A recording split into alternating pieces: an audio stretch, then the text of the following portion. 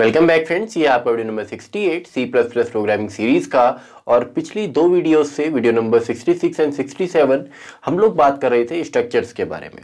और आज हम देखने वाले हैं कि कौन कौन से आपके तरीके हैं स्ट्रक्चर्स को में वैल्यू इनिशियलाइज करने के और एरे ऑफ़ स्ट्रक्चर क्या होता है। तो सिंपली इसका हम एक प्रोग्राम यहाँ पे डायरेक्टली बनाते हैं।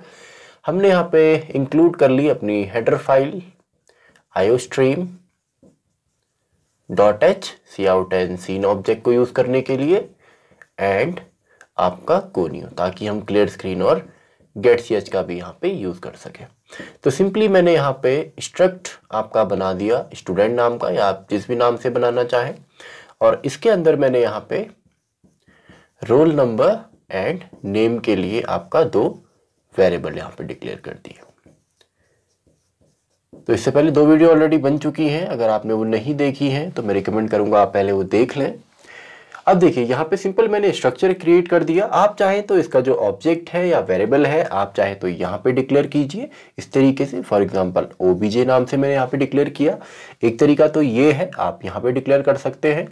दूसरा तरीका है, आप जिस भी फ़ंक्शन के अंदर इसको यूज़ करना चाहें, वहाँ भी आप डायरेक्टली डिक्लेयर कर सकते हैं। इस तरीके से क्लियर स्क्रीन देन सिंपली मैंने यहाँ पे क्या कर दिया? स्टूडेंट नाम का आपका कि ये डेटा टाइप मैंने डिक्लेयर किया है। तो इसका मैं वेरिएबल या ऑब्जेक्ट डिक्लेयर करता हूँ। मैंने यहाँ पे डिक्लेयर कर दिया ओ बी जे नाम से। तो यहाँ पे आप चाहे तो ऐसे डिक्लेयर करें, आप चाहें तो ये तरीका भी। दोनों ही मेथड आपकी यहाँ पे चलती हैं इसको डिक्लेयर करने के लिए।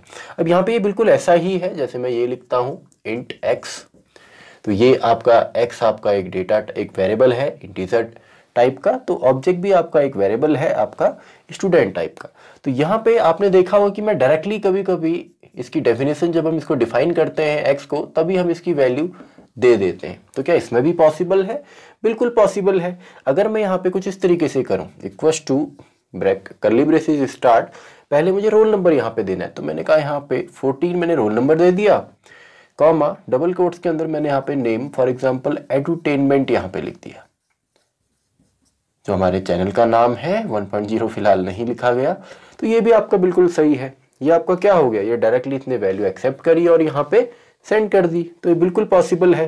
ये मेमोरी में कुछ इस तरीके से आपका नज़र आएगा। ये मैंने यहाँ पे लिख दिया। मैंने यहाँ पे सिंपली एक ऑब्जेक्ट मुझे मिला था और इसके अंदर दो सेक्शंस थे। एक तो आपका था रोल नंबर लिखने के लिए। ये आपका फॉर एग्जांपल मान लीजिए रोल नंबर के लिए है और ये है आपका थर्टी बाइट का नेम के लिए। तो जैसे ही मैंने ये लिखा तो आपका जो ये वाला सेक्शन है, ये ऑटोमेटिकली कहाँ फिल हो जाएगा? यहाँ पे। और एडुटेनमेंट आपका कहाँ फिल हो जाएगा? यहाँ पे।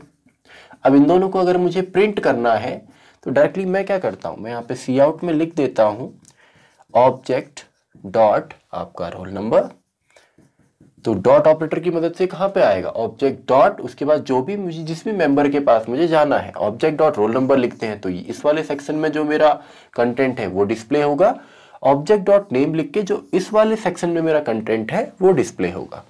तो सी आउट के अंदर मैंने यहाँ पे सिंपली लिख दिया ऑब्जेक्ट डॉट मुझे यहाँ पे करना है नेम को प्रिंट तो नेम तो ये सिंपली आपका क्या हो गया, एक सिंपल सैंपल प्रोग्राम हमने देखा कि आप इनिशियलाइज जब इसको आप ऑब्जेक्ट को डिक्लेयर करेंगे, उसी समय आप किस तरीके से इसमें वैल्यू भी इनिशियलाइज कर सकते हैं। अब देखिए, यहाँ पे मैं, यहाँ पे इसके रेफरेंस में इसलिए समझा रहा हूँ क्योंकि शायद आप लोगों को ये चीज़ काफ़ी अच्छे से क्लियर होगी। तो यहाँ पे हम कभी कभी ऐसा भी करते हैं, अगर हमें एरे बनानी हो एक्स फाइव मतलब क्या हुआ कि आपका एक्स ज़ीरो एक यहाँ पे डेटा टाइप है सॉरी वेरिएबल है एक्स वन एक वेरिएबल है, तभी तो इसको बोला जाता है कलेक्शन ऑफ़ वेरिएबल तो यहाँ पे भी बिल्कुल पॉसिबल है। कैसे हम इसको करेंगे? सेम जैसे हमने यहाँ पे किया है सेम यही चीज़ हम चाहें तो इसके अंदर भी बना सकते हैं।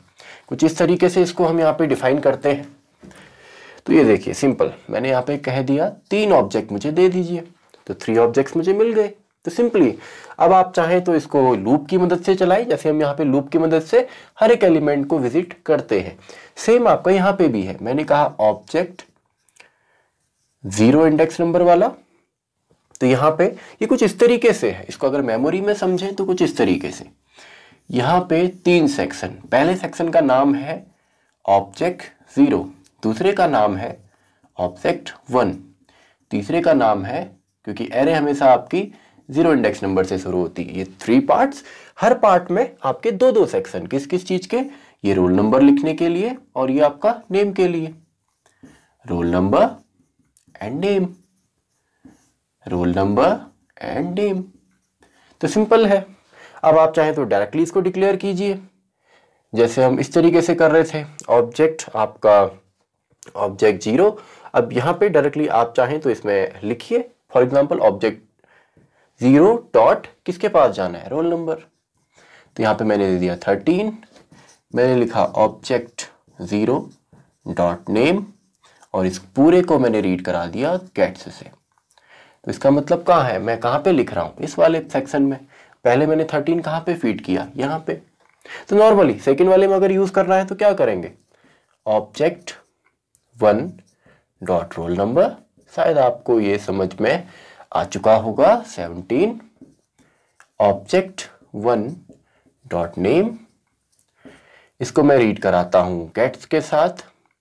तो ये आपका यहाँ पे फिल वैसे ऑब्जेक्ट टू के साथ। आप चाहे तो इसको लूप की मदद से भी यहाँ पे यूज़ कर सकते हैं। तो ये आपका सिंपल क्या हो गया? ये आपका एरे ऑफ़ ऑब्जेक्ट्स हो गया, या एरे ऑफ़ स्ट्रक्चर हो गया। जैसे हम यहाँ पे डिक्लेयर करते हैं सेम वही तरीका है। अगर आप इसमें पॉइंटर अभी हमने डिस्कस नहीं किया है। आने वाले वीडियोस में हम पॉइंटर भी डिस्कस करेंगे। लेकिन अगर आप पॉइंटर डिक्लेयर कर सकते हैं इस तरीके से, या एरे ऑफ़ पॉइंटर कर सकते हैं इस तरीके से तो यहाँ पे पॉइंटर भी आपके डिक्लेयर हो जाएँगे नॉर्मली सेम तरीके हैं, क्योंकि ये आपका यूज़र डिफाइंड डेटा टाइप है तो इसमें सारे फीचर्स अवेलेबल हैं जो इसमें प्री डिफाइंड डेटा टाइप में होते हैं।